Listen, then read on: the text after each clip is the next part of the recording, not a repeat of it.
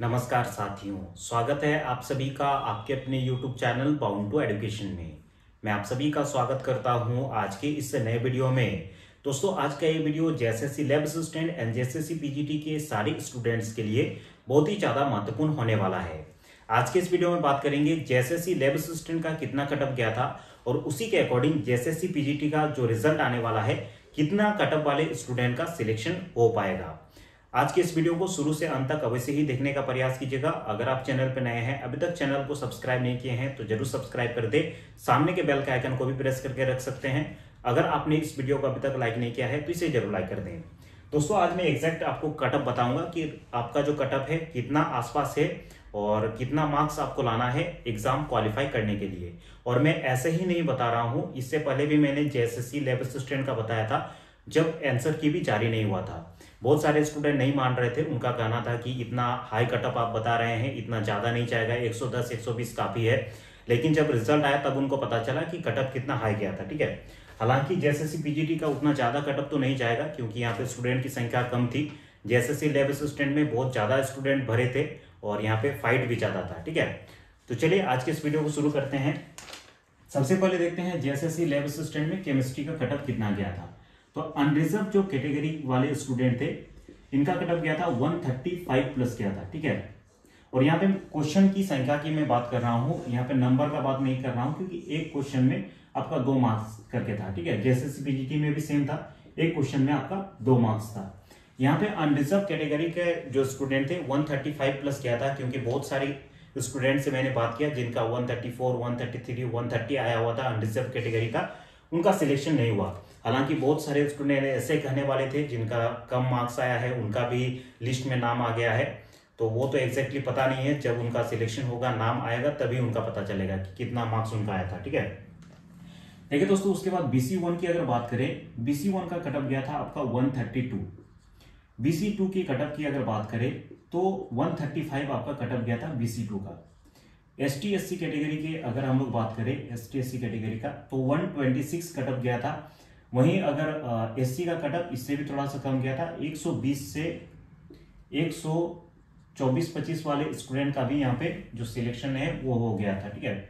उसके बाद E W S category के स्टूडेंट की अगर बात करें तो बीसी वन के लगभग सिमिलर इनका कटअप जाता है 130 के अराउंड इनका कटअप गया था, ठीक है?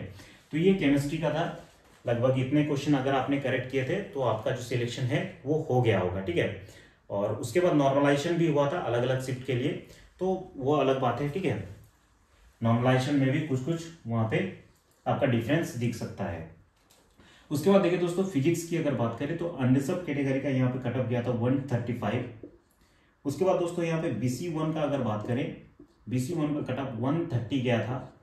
बीसी टू का कटअप की अगर बात करें तो यहाँ पे दोस्तों 132 के करीब कटअप गया था। एस टी एस सी का कटअप यहाँ पे 124 गया था। और उसके बाद दोस्तों यहाँ पे ई डब्ल्यू एस कैटेगरी का कटअप गया था। 130 128 से 130 के स्टूडेंट का यहाँ पे जो दोस्तों सिलेक्शन हो गया था, ठीक है? उसके बाद बायोलॉजी का अगर बात करें तो यहाँ देखिए अनरिजर्व कैटेगरी का जो कटअप गया था 130 से लेकर के 133 के स्टूडेंट का यहाँ पे जो दोस्तों सिलेक्शन हो गया है। उसके बाद दोस्तों यहाँ पे बीसी वन का कटअप गया था 128 बीसी टू का यहाँ पे कटअप गया था 132 एस टी एस सी का यहाँ पे कटअप गया था 110 उसके बाद ई डब्ल्यू एस का कटअप यहाँ पे गया था 128 तो इस प्रकार से कटअप जो है बायोलॉजी का था, ठीक है? और मेरे ख्याल से इतना अगर आपने सही किया होगा, चाहे फिजिक्स हो या फिर बायोलॉजी हो, आपका सिलेक्शन हो गया होगा, ठीक है? किसी किसी शिफ्ट में नॉर्मलाइजेशन के कारण आपका सिलेक्शन हो सकता है, ना हो, ठीक है? और उसके बाद यहाँ पे जो कट ऑफ़ है, हाई जाने का बहुत सारा रीजन है, आधा सीट में तो खेला हो जाता है और आधा सीट जो बचता है उसमें बहुत ज़्यादा कंपटीशन होता है, ठीक है? चलिए अभी बात करते हैं पीजीटी का आपका कितना कटअप जा सकता है। तो यहाँ पे लगभग दस ग्यारह सब्जेक्ट पे आपका एग्ज़ाम हुआ था। सबसे पहले हम लोग देखते हैं बायो का यहाँ पे कटअप कितना जाएगा, ठीक है? यहाँ पे लिख देता हूँ जनरल यहाँ पे ओबीसी जहाँ पे बीसी वन बीसी टू का लगभग वही चार पाँच नंबर का तोहफात रहता है, उसके बाद एस टी एस सी उसके बाद यहाँ पे हम लोग बात करेंगे ईडब्ल्यू एस कैटेगरी की। तो देखिए दोस्तों, सबसे पहले बात करते हैं हम लोग बायोलॉजी का।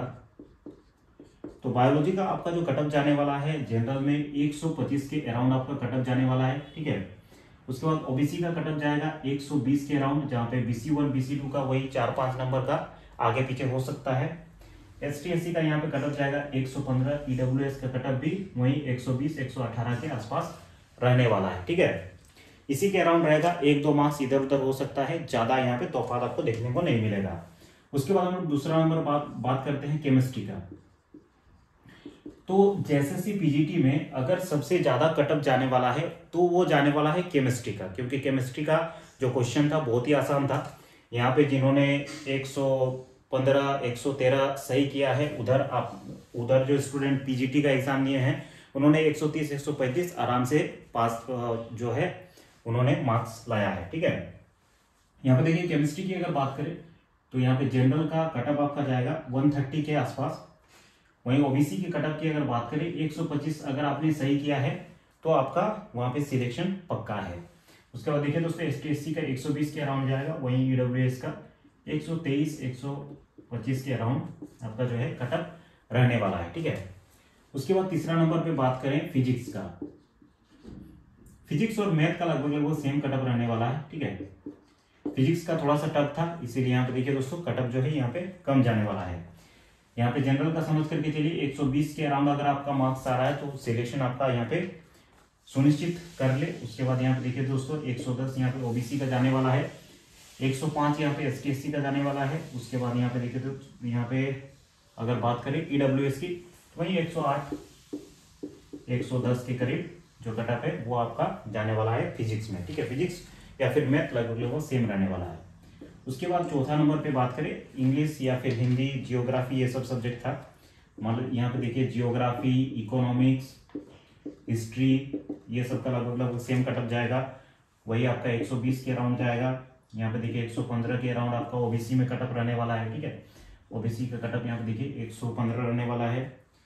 इधर 100 के अराउंड रहेगा और इधर देखिए ईडब्ल्यू का 115 के अराउंड आपका जो कटअप है, वो रहने वाला है, ठीक है? उसके बाद आपका इंग्लिश और हिंदी। इंग्लिश और हिंदी। ये दोनों का कटअप लगभग लगभग सेम रहने वाला है। इसमें अगर बात करें तो जनरल की तो इससे भी कम जाएगा। 115 के अराउंड यहाँ पे कटअप रहेगा। उसके बाद यहाँ पे देखिए दोस्तों 110 के अराउंड यहाँ पे ओबीसी में कटअप जाने वाला है। और इसमें आपका 100 के अराउंड जाएगा। और इसमें आपका देखिए, वही 108 के अराउंड 110 के अराउंड आपका जो कटअप है, वो रहने वाला है इंग्लिश और हिंदी में, ठीक है? इंग्लिश और हिंदी में ये आपका कटअप जाने वाला है। उसके बाद हम लोग का बचता है, देखिए दोस्तों, संस्कृत कॉमर्स ठीक है? कॉमर्स का जान लेते हैं। कॉमर्स का देखिए दोस्तों, आपका कटअप जाएगा। इस बहुत कम स्टूडेंट थे 110 के अराउंड यहाँ पे कटअप जाएगा 100 के अराउंड यहाँ पे 95 आसपास कटअप जाने वाला है। उसके बाद देखिए दोस्तों, यहाँ पे 98 100 के अराउंड यहाँ पे ए का कटअप जाने वाला है कॉमर्स में। बचता है यहाँ पे संस्कृत का। संस्कृत का बहुत कम स्टूडेंट थे। तो यहाँ पे अगर आपने सो अटेम्प्ट कर लिया है तो समझ करके चलिए कि आपका सिलेक्शन पक्का है। बहुत कम स्टूडेंट थे। यहाँ पे एस टी का समझ ओबीसी का समझ करके चलिए 95 98 तक जाएगा। एस टी का 90 के अराउंड अगर आपने सही किया है तो आ जाएगा। इधर भी देखिए 95 कटअप आपका जाने वाला है, ठीक है? तो लगभग यही मेन सब्जेक्ट था जिसका एग्ज़ाम हुआ था। मेरे ख्याल से आपको एक राउंड फिगर में आइडिया लग गया है कि कितना कटअप आपका जा सकता है, ठीक है? नॉर्मलाइजेशन होगा, उसमें थोड़ा बहुत इधर उधर हो सकता है, लेकिन राउंड फिगर में समझ करके चलिए, अगर आपने इतना क्वेश्चन करेक्ट किया है तो आपका सिलेक्शन पक्का है। तो चलिए, आज के इस वीडियो में इतना ही। आज के इस वीडियो को देखने के लिए बहुत बहुत धन्यवाद। अगर आपने चैनल को अभी तक सब्सक्राइब नहीं किया है तो इसे ज़रूर सब्सक्राइब कर दे। अगर आपने इस वीडियो को अभी तक लाइक नहीं किया है तो इसे ज़रूर लाइक कर दे। सामने के बेल के आइकन को भी प्रेस करके रख सकते हैं। आज के इस वीडियो को देखने के लिए बहुत बहुत धन्यवाद। अगले वीडियो में हम लोग फिर मिलते हैं।